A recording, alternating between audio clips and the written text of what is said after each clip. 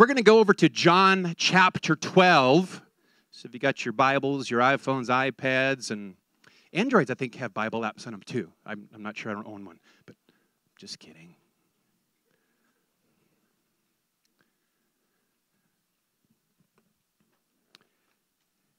Yeah, so John chapter 12. And we'll read some scripture here, and then we're just going to kind of launch and see where, where the Lord wants to go. It's going to be good because God is good. I just love those testimonies, by the way. Wow. I mean, you know, and that's God wants to use each one of us that way. That's that's the beauty of it. So, all right, here we go. John chapter 12. We'll just start at verse 1. Then 6 days before the Passover, Jesus came to Bethany, where Lazarus, who had been dead, lived, whom he had raised from the dead. And there they made him supper, and Martha served, but Lazarus was one of those that sat at the table with him. Then Mary took a pound of very costly oil, spikenard, and anointed the feet of Jesus and wiped his feet with her hair. The whole house was filled with the fragrance of the oil. But one of his disciples, Jesus, or Judas Iscariot, Simon's son, whom betrayed him, said, Why? Why this kind of waste? Why wasn't this fragrant oil sold for a 300 denarii and given to the poor? He said this not because he cared about the poor, but because he was a thief. And he had the money box and used to take it whenever he felt like it. But Jesus said, Let her alone. She has kept this for the day of my burial. For the poor you will always have, but me, you'll not always. And so, what I want to talk about today is really just this idea of, of extravagant worship. This idea, what's it really worth? What's he really worth to you and me as the King of Kings? And so, so we see Mary here, and I, I want to back up a little bit. Then in Luke chapter 10, it, it gives us whole another account that when Jesus had come to Bethany, and there was just something special about this place, Bethany, because Jesus, we see several times that he would actually stop there on his way to Jerusalem. And this is where his friends were. I mean, not that his disciples weren't his friends, but there was something really unique, real special with, with Mary and Martha and Lazarus. They, they were friends. And he loved to just come hang out with them and spend time with them. And, and, and the ministry wasn't, wasn't so much ministry as it was just he liked being in the presence of his friends. Do you know God actually likes the very same thing? He likes to be in the presence of his friends. He likes to be in your presence. That if you said yes to Christ and he's your Lord and Savior, guess what? He likes to be in your presence. And if you haven't said yes to Jesus, what? Guess what? You were created in his image and he still likes to be in your presence because he likes you a lot. I mean, that's just the cool thing right there. So, this idea that Jesus comes to Bethany, and, and even Bethany was kind of interesting because because Bethany was, was a place where he would come, and it was like always like a place of retreat, a place of relaxing, a place of refreshing. But it's also the place that Jesus actually, were, that's where his ascension was.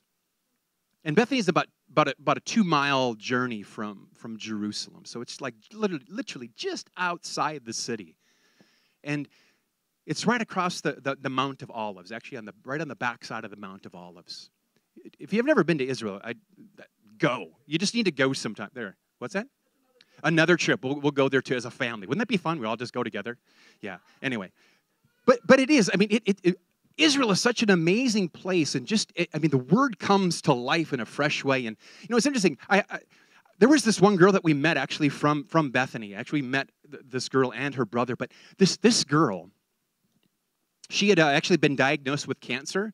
And I mean, not very old either. You know, I think it was leukemia is what she actually had. And, you know, the doctors would only give her a certain period of time to live. And, and during this time, actually, her, her mom and her brother and some other family members got saved. But she, she didn't want anything to do with Jesus because she was angry at God. And she didn't even know if there was a God because the reality that she was suffering with this sickness. And I remember as she was sharing her testimony, she was like, and she was just so full of hatred and so full of bitterness that one day she goes to Hamas and goes, I want to blow up some Jews. I want to blow up people. And so, like, literally, she was on a mission to go bring destruction. But every day her mom would come to her. It's like, all right, come here. Let's, I'm, I'm going to pray for you. She goes, stop praying for me. I don't want your prayers. I don't believe in God. I don't believe that even exists. And she was just so full of hatred and bitterness. And yet, one night when she went to sleep, she just said a real simple thing. I'm not going to pray to Allah. I'm not going to pray to Jesus.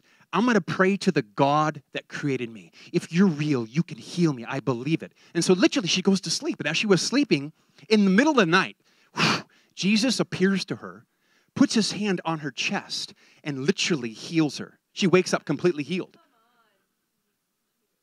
And she knew it was Jesus because it was the man in white. It's, I mean, really, the testimonies that we've heard even firsthand from people of the man in white show, showing himself to Muslims is, is astounding. And that's what God is doing. And it comes from the simple place because he's, he's drawing a people in this day and this hour. But eh, from that point on, this girl actually literally all of a sudden just began to worship Jesus. And like the hatred that she had for the Jewish people, the hatred that she had for Christians, all of that was removed in a moment because she had actually seen the man that created her for friendship and for relationship. She was compelled by that reality to love. And it's interesting, even the, the word Bethany, it's got a couple different meanings. It, it means either the, the, the house of affliction or the house of bitterness. It's also known as the house of song. But this idea that, that this girl, that in this place, that in the, in the middle of her uh, uh, affliction, God would reach down and touch her in the middle of the night, in a dream, in a vision, and actually bring healing to her. I mean, it's amazing. This is what God is doing. You know, sometimes we, we, we confine God to, to, to the word that's uh, just the, the, the pages that there, and we don't actually see that actually it's living and it's active. Like God is alive today, right now. And He's just looking for friends. Just looking for friends. Now, about two years later, we, we were in, in Jerusalem, and we were actually at a, there's a really cool house of prayer that overlooks uh, uh, Mount Zion, which is, it's like a real place, you know what I mean? And like when you're when you're prayer leading, I mean, because we come sometimes, and you're literally looking at Mount Zion. I mean, it just it's just so cool, you know. And you're just you're praying, you're interceding, and just. But there was this one gentleman that had come in uh, that night, and he was like dragging his leg, and I thought, oh. And we were sharing during one of their main gatherings, and as he came across the room, I thought, God's going to heal that guy. So I said, I said like three different times as I was preaching the message, I said, God's going to heal you. I didn't even know what was wrong with him. And at the end of the time, actually, Elizabeth and I began to pray for this guy. What had happened is that the, the, the tendon that connects like the hamstring, you know, that lets you do this, was, was severed. So literally, he, there was no way to bend his leg. I know, right? It's just nasty. I mean, like, you could actually feel the, the muscle rolled up. You know what I mean? It just, it was kind of nasty. But, and he was supposed to go in for surgery like I think this was on a Monday night. I think Thursday he was supposed to go in for surgery. And so Elizabeth and I just start praying for him and we just begin to speak and release healing into this guy. And all of a sudden, God totally heals it. And like all of a sudden, he's going, This is crazy. I mean, like, and he's like freaking out and he starts running around the room, just testing it out. And he's like, Wow, the doctors are not going to believe this one. I said, Well, you know who to give credit to. Well, the cool thing is that this guy was actually the brother who had prayed for his sister the one that had the encounter, and they're both from this place of Bethany. I don't know, just, just God is so cool that way. He really is. And so now we, we now we've got Jesus. Now he there he is in Bethany. And he's with his friends. He's with he's with Martha, he's with Mary, he's with Lazarus. And you know, there's this, there's this meal. And I like it because it says in, in the in the message Bible, says that they, they actually honored Jesus. They created this amazing supper, this environment, this atmosphere, because it was just before the Passover as they were going to head into Jerusalem. And so Jesus was the honored guest. And there he was, sitting with his friends at the table eating. And at one point, you know, it says that, says that Martha served. And, and Martha was serving, and it's so different than, than, than the, the, previous count that we actually see Martha serving in. That in, in Luke chapter 10, where we see Martha's in the kitchen and she's busy about all kinds of stuff, and she's no, no, no, no, trying to make sandwiches that Jesus never ordered, and she's doing all kinds of things. And then she sees her sister sitting at the feet of Jesus. I mean, I mean, just sitting there at the feet of Jesus, gazing, listening to every word, her heart being awakened and made alive. And she just listened intently. She was drawn in to his heart, she was pulled in. She was becoming one with the man Christ Jesus. She chose to worship. And Martha, in her whining and complaining and her worry and concern, says, Come on, Jesus, tell her to help me. Yeah, because that's how she talked. But yet, Jesus kind of looked at Martha and said, Martha, and you're, you're so worried about so many things. And see, that was the key thing he was really trying to address was the issue of worry and anxiousness. It wasn't the fact that she was serving, but it was the way that she was going about the serving. Like somehow trying to prove God's love and affection by the things that she was doing. You know, and there's many of us that are like that. I mean, and see, God loves people that serve. God loves the Marthas. God loves the ones that do things because the doers get things done. But if we if we strive after the doing first and we do do do do, you know what do do is? I mean, that's right. But God's calling us to, to do from a place of being. And see, that's, that's where Martha was completely contrary to that. And the sister sat at the feet of Jesus and just gazed and beheld the goodness of the Father, the goodness of, of the Son, the overwhelming grace and presence of Holy Spirit that was just emanating from Jesus. And so she worshiped. She was compelled because she had an encounter. She stopped and made herself still for a moment. And she saw. And I believe that's an invitation for all of us that God is is just inviting us into this place of extravagant worship and this place where, where what would we do to grab a hold of his presence? What would we do to, to truly worship him in spirit and in truth? What would we do? What would we be willing to give?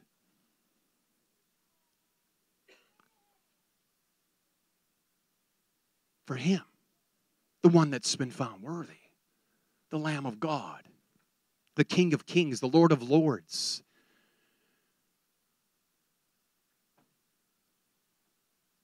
Again, from that place of being, we can do. And we've got all kinds of stuff that has to be done. I assure you.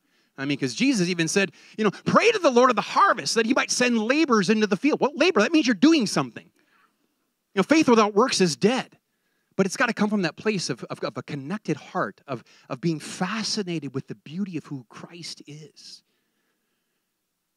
that awakens a reality to what's inside of you Christ in you, the hope of glory. And, and there's something He wants to awaken in each of our hearts today that we, we, we really see what's on the inside, and it's Him. It's Him. He's jealous for you. He's jealous for your affection. He's jealous for your time. Yeah, but I don't have the time. You do. Worship Him in all things even in your homework. Da, da, da, da, da, da. Worship while you work.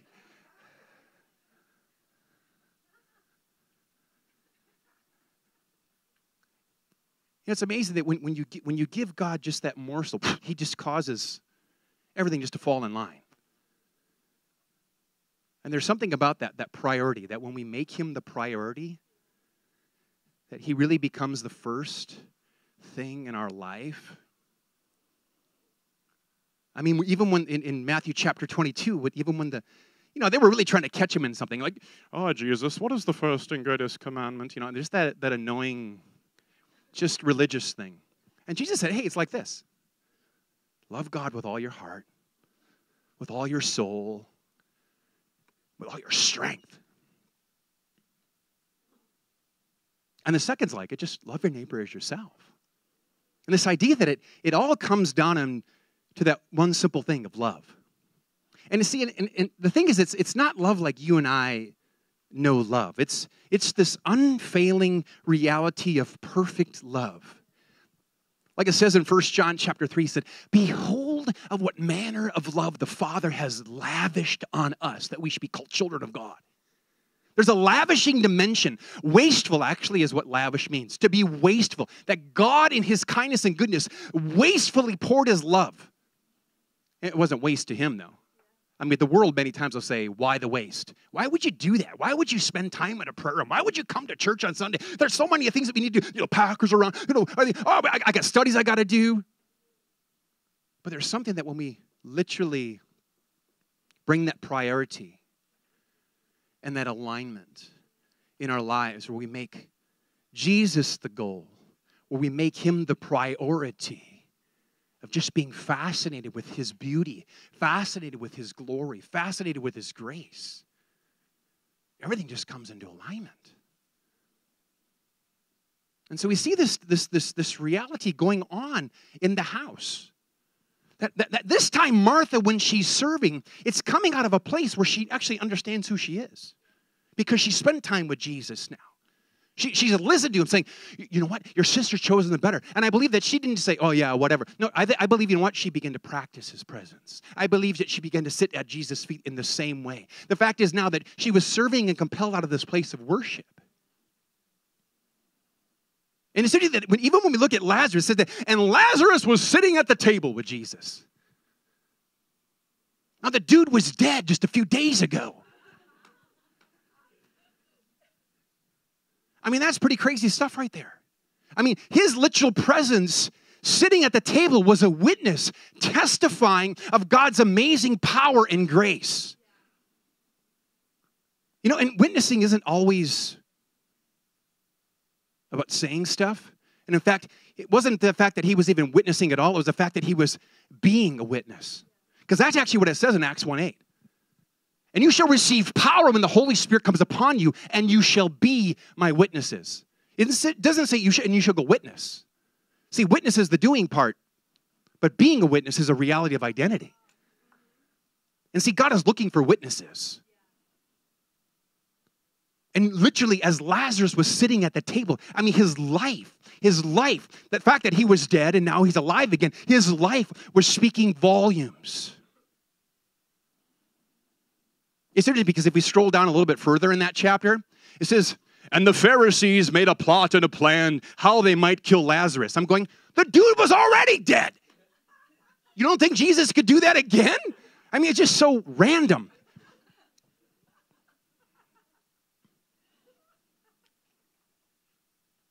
And so this idea that we see, we see that, that from the place of worship, there's a, there's a serving dimension that, that, that, that, uh, Martha moves into. And then from that place of worship and adoration and understanding who Christ is, we see, we see Lazarus' life being a witness.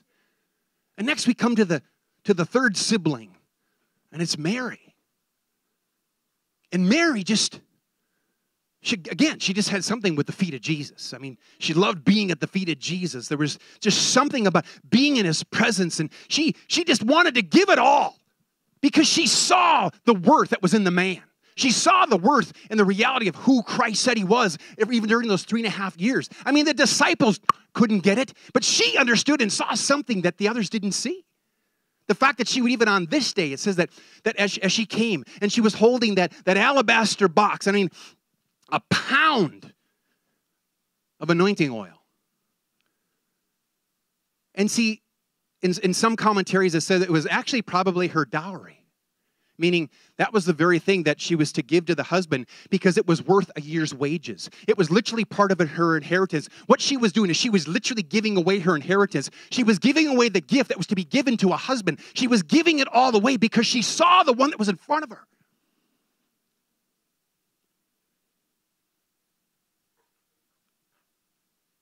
And she just said, I'm going to pour it out.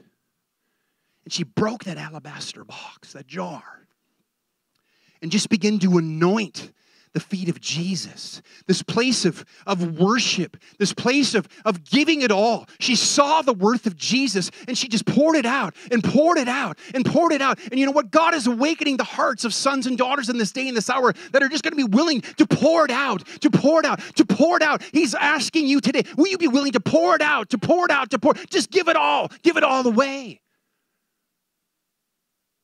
Because how many of us here want more God? Five people want more of God. This is a really good group. I'm kidding. I know you all do. But in Matthew chapter 10, it says that as you go, preach the gospel of the kingdom, heal the sick, cleanse the leper, raise the dead, cast out demons, freely receive, and freely give it away. If you want more of God, you got to give away what you have.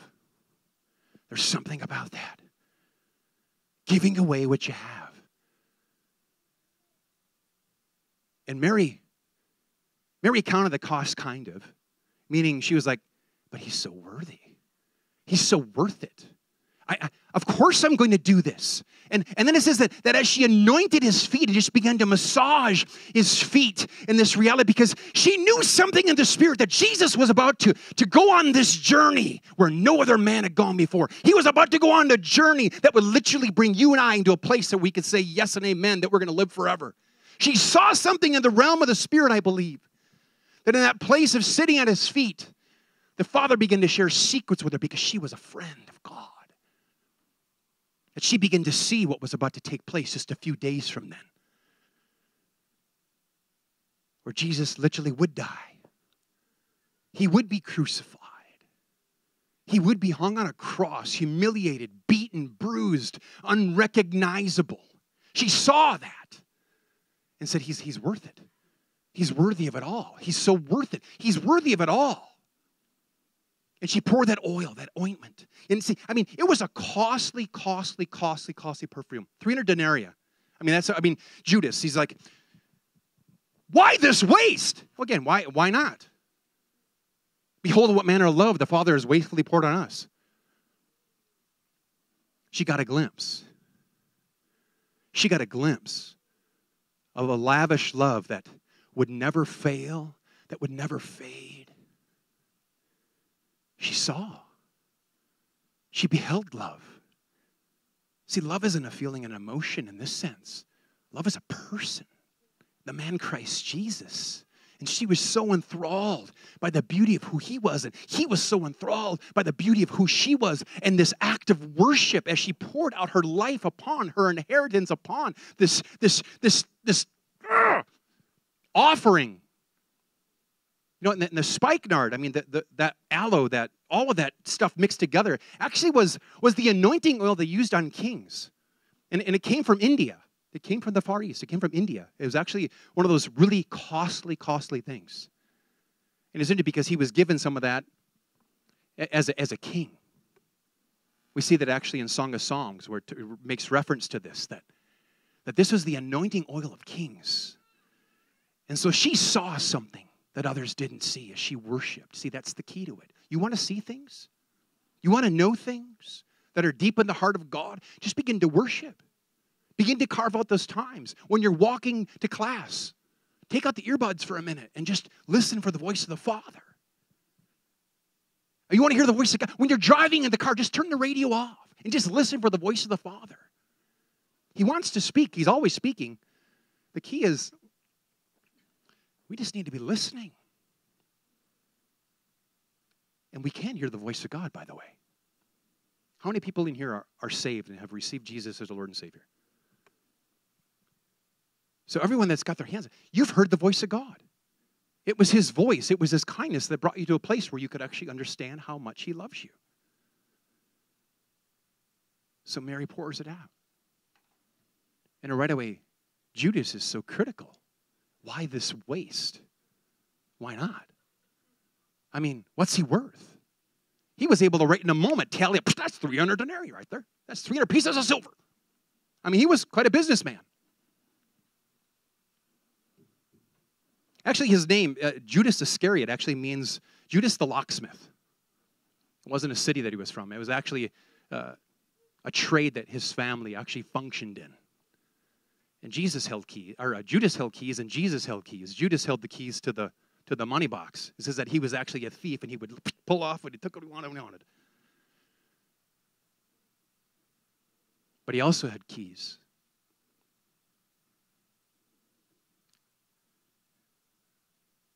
He held keys that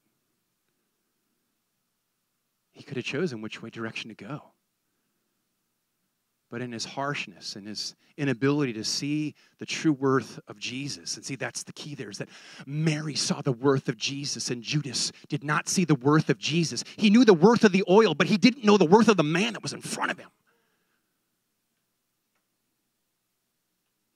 And this idea of extravagant worship and a lifestyle of worship. You know, a worshiper isn't someone that just plays an instrument. A worshiper is literally what God has called each one of us to that have said yes to Jesus. And he's just looking for the yes. He's looking for the want to. Do you want to? Do you want to love him with all your heart? Do you want to love him with all your soul? Do you want to love him with all your strength? And you know, it's just baby steps. It really is. It's just baby steps. Each day, that as we take those steps towards Him and we move towards Him. You know, it's interesting that, that even as, as Judas betrays Jesus, I mean, he understood the, the, the value of the spikenard, but didn't understand, understand the value of love and what Jesus was about to do. The fact that, you know, he went in for 30 pieces of silver, he sold the king out. And then he realized, I mean, we hear him say that, oh, what have I done? I've like, I literally betrayed. I've uh, innocent blood here. What have I done? And he goes and hangs himself on a tree. When the reality is that Jesus is about to do the same thing so that he could live again.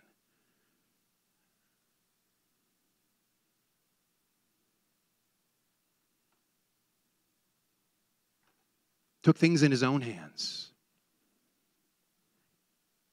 rather than placing his life in the hands of a king a trustworthy one, one that was anointed. Even as Mary anointed those feet. I mean, you know, in the in the book of uh, Esther, it's just like they went through these treatments where they were like saturated in uh, oils and perfumes and all kinds of stuff for like a year to the point where they, I mean, literally, they, everything about them smelled like that fragrance because, see, that's what was going on in that room. It says that the whole room was filled with the fragrance. It was filled with that fragrance, that spice, that, that expensive perfume from India. It filled the whole room. And I believe that even as Jesus made his way into Jerusalem, his feet anointed for the journey that he was set out before him. And it was, it was about the burial because, see, because Mary saw this reality. She saw something different. She saw something new. That as, as Jesus made his journey back into the city, and that as he stood before those that would condemn him to death, I can imagine just the fragrance being released from his feet I mean, could you imagine being the Roman dude that nailed his feet that all of a sudden, and all of a sudden this fragrance just gets released?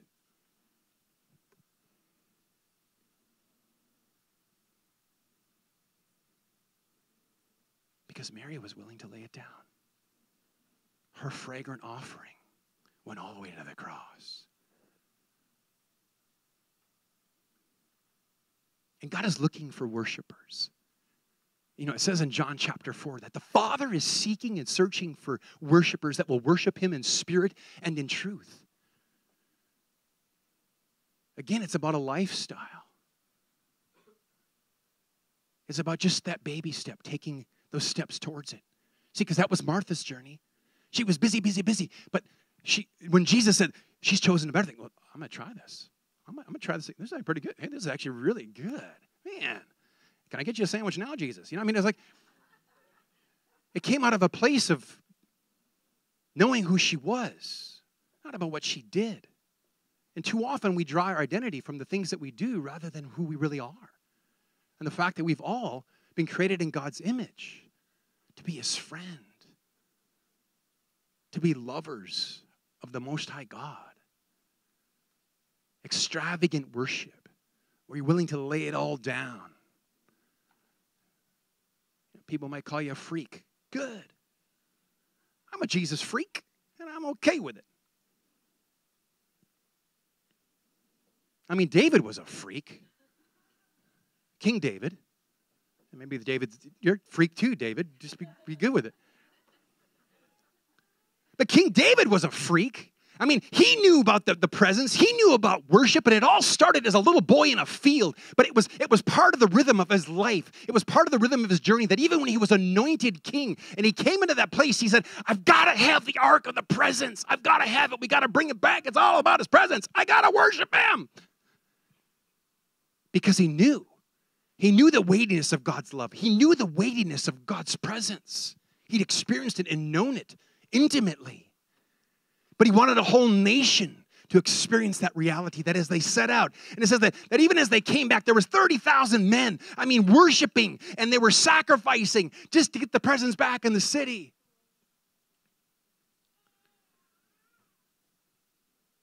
It says that even as david he was he was dancing. In his undies, and I'm not going to get in mine. He was dancing in his underwear, his, his undergarments, the linen ephod, the fact he was making a fool of himself. That even as he came into the city, his wife saw him and said, What is with this guy? You looked ridiculous out there, David. And it says that she was barren from that day on. Never bore a kid. Oh, that's what happens. Be a freak, and you'll be fruitful.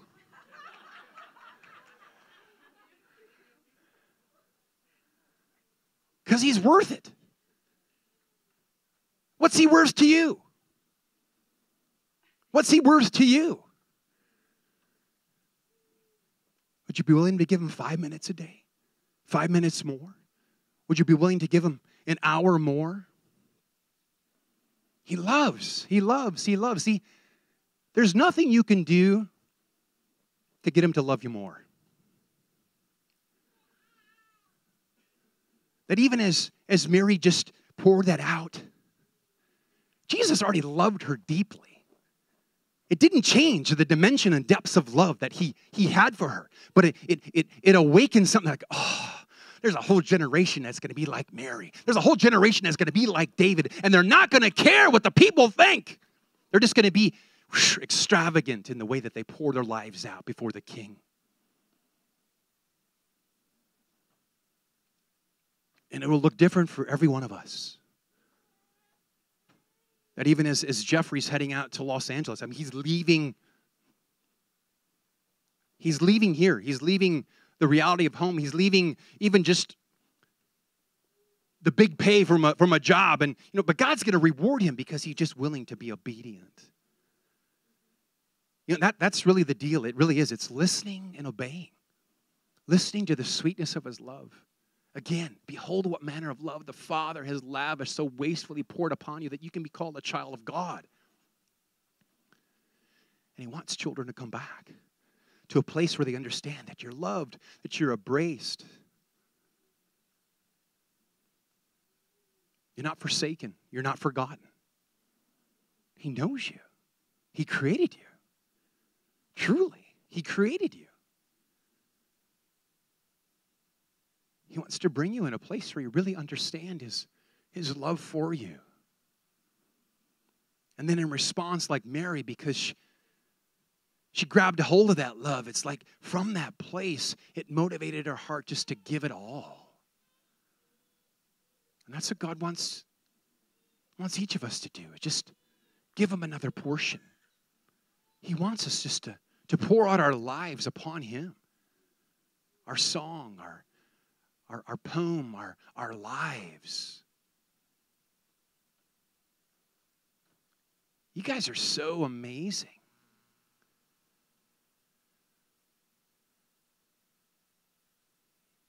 You've been set apart for this time.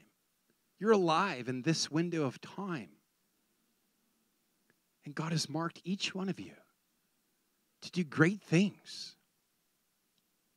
But it's it's from that place of worship. It's from that place of extravagance. It's from that place of just understanding that He will carry you all along the way. That from that place of worship, you'll serve Him in a way that you've never known before. From that place of worship, you'll be His witness. From that place of worship, you're just going to keep pouring it out.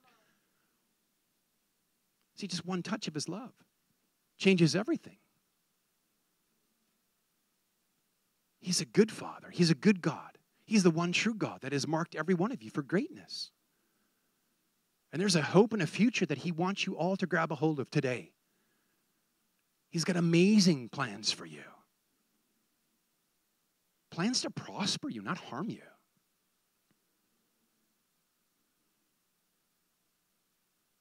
Plans to prosper you, not harm you. He's a good father who's really good. And he's, he's just looking for ones that would just be obedient. Not, not obedience out of this place of like, oh, he's going to smash me and crush me if I don't. It comes from this place going, wow, I can't help myself. I mean, I, wow, you, you, you uh, all of a sudden, you begin to see the reality why you were created.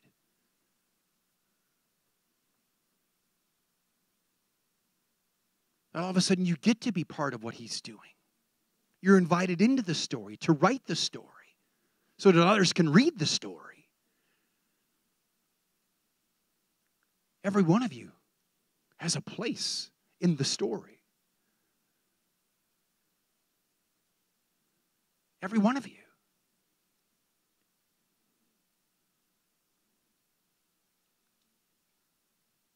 He just wants you to hear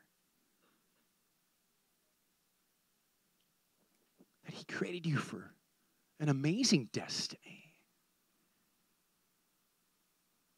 He created you for His good pleasure. And it's my prayer today that you would just, that you would see. That you would see the, the hope and the reality, the why you live. That you'd see the hope and reality of, of, of just God's goodness. Because He wants to take you to the higher place. He wants to take you up so you see from His perspective. And He's just looking for just obedient friends. He's looking for burning hearts. See, it takes oil to cause fire in a, in a candle or in a lampstand to burn. And I believe he's raising up a generation that that are so compelled by the first commandment is to love God completely with all that they are so that they can effectively do the second and that's serving and, and loving the community that's around us. It's, it's a byproduct of, of relationship. It's a byproduct and an outflow of just spending time in his presence, just taking those times to see him as he really is, that he really is good and he's got good things planned for you. You know, the world paints God in such an awful picture.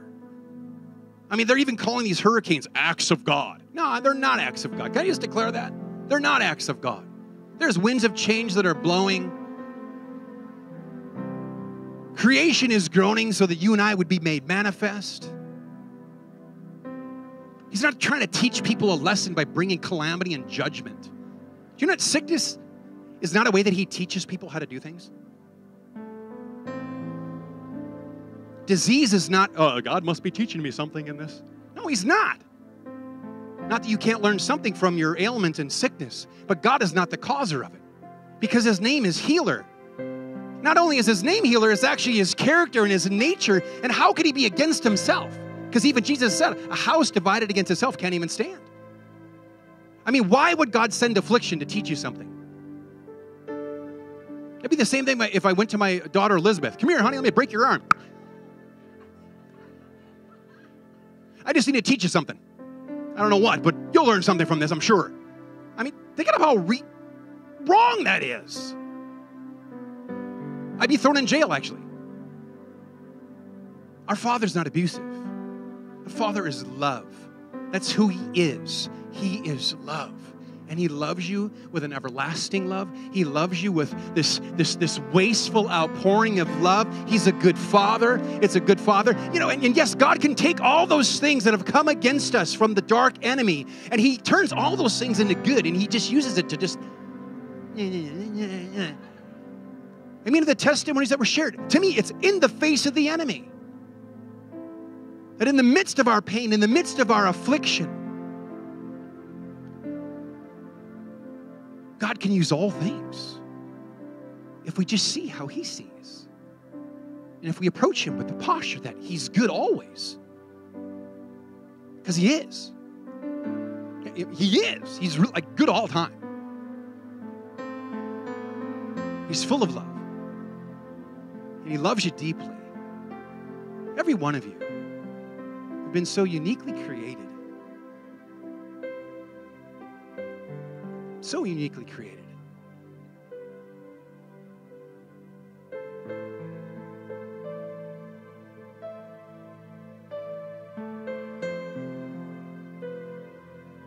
It's no coincidence or mistake that anyone is here today.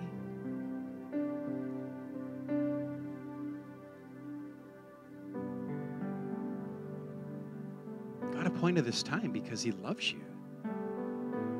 And He just wants you to hear this that He loves you with the same intensity of love that He loves His Son Jesus. That's the kind of love He has for you right now. even in the midst of the things that may be going on, the trials, and, and just even maybe some sin that you stumbled into or willfully chose to do, you know what? He still loves you. And He just wants you to see His kindness. He wants you to hear His kindness. He wants you to feel His kindness because that's what's going to cause you to change your mind. That's what's going to cause you to change your heart to see Him as He really is. He's good. He's so good. And from that place of extravagance, all of a sudden, we just begin to serve God in a fresh way. We serve Him as an outflow. And then we can just be His witness. I mean, in our workplace, in our classrooms, we just radiate the goodness of Jesus.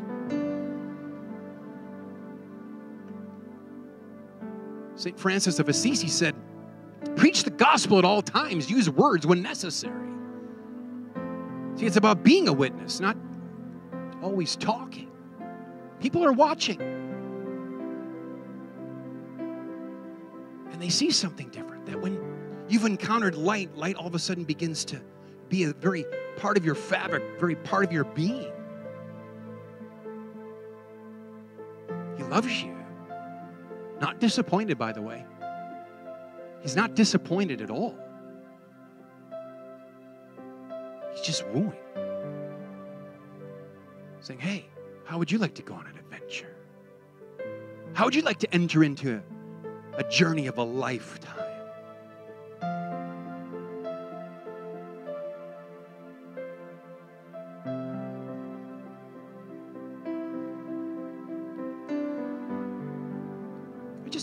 To get in a posture just to receive, just from the Father, okay? Can we do that? You can stand up, you can sit down, you can get on your knees, you can do whatever you want, but I just I just want us to get in a posture to receive. Just receive more of Him. And Lord, I just declare that you were good. I declare that you were you were for each one in this room because you created them in your image. I just say, God, would you let the, the reality of hope just infuse each heart in this place? God, that you'd flood them, that you'd fill them.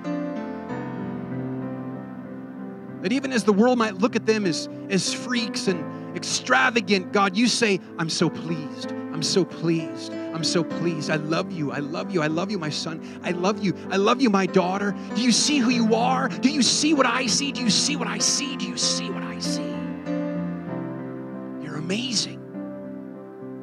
You're amazing.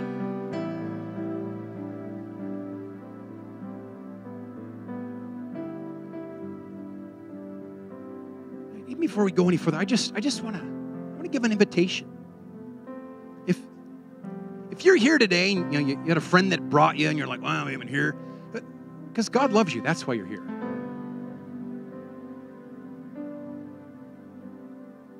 He makes these appointments. Sometimes we don't even understand that we're like right in the thing. And I just want to give an opportunity today.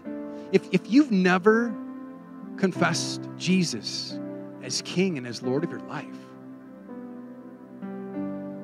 if you've never believed in what, what He completely finished for you and received this amazing free gift of salvation that just makes your heart happy, that sets your heart free.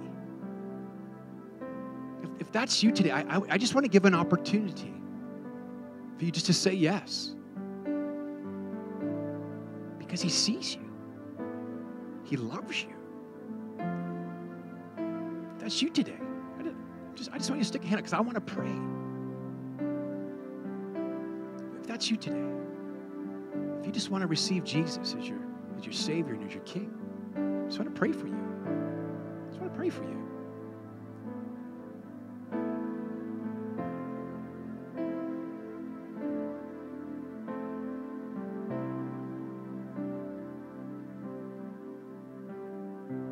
God, I just thank you for each one in here.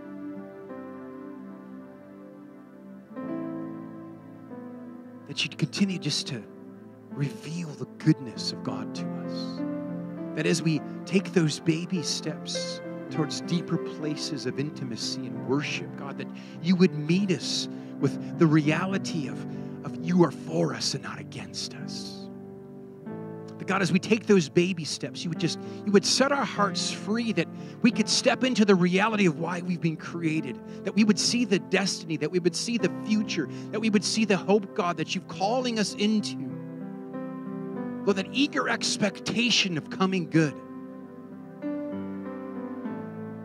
We would know the goodness of the Lord right now in the land of the living. You bring us into a fresh encounter with your heart. That religious mindsets, religious ways would fall to the wayside, that we would enter into deeper dimensions of relationship with this uncreated God that created us each for his pleasure. There's no God like you anywhere. Father, I just ask that you just release and unlock your heart today. That you release and unlock, God, just the plans that you have for each one in this room. And I thank you, Papa, that you're mindful of each one. That you'd send them forth this week, God, as a smooth stone to bring down the giants that would cross their paths.